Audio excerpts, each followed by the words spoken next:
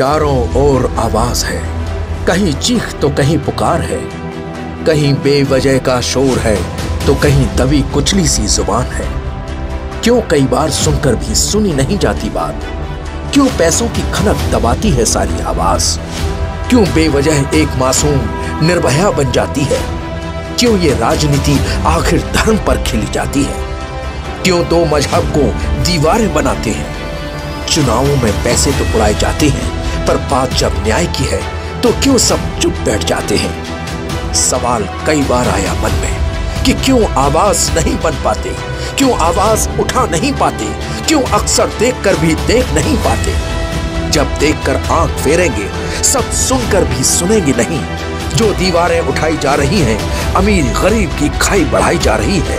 अगर इस खाई को भरेंगे नहीं, इन दीवारों को तोड़ेंगे नहीं तो कैसे कुछ बदल पाएँगे? जिम्मेदार हम सब है, क्योंकि देश हमारा है। देश की हर आवाज़ हमारी है। बोलेंगे नहीं तो हालात बदलेंगे नहीं। अब आवाज़ सुनेंगे भी और सुनाएँगे भी।